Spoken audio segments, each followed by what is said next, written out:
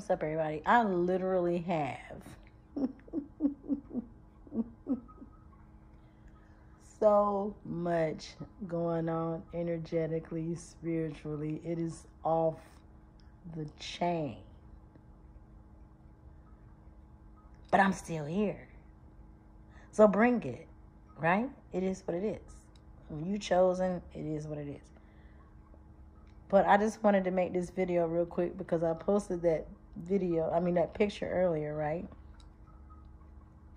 Of that eclipse water that I've had since 2017. And I'm like, I know I got I'm like, and I'll be damned. Y'all, that was like a gallon. More than a gallon maybe.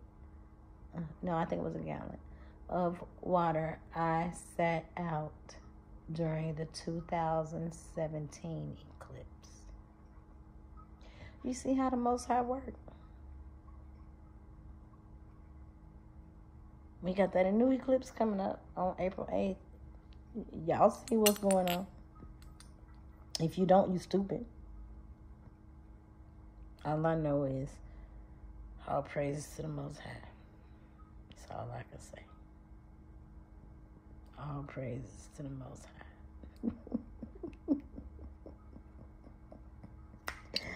Y'all ain't got a clue how thankful I am to have found that water that I had from the 2017 eclipse. I knew I had that stuff. I knew I had it, y'all.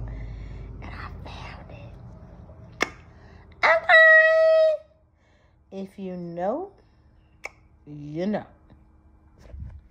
Saying.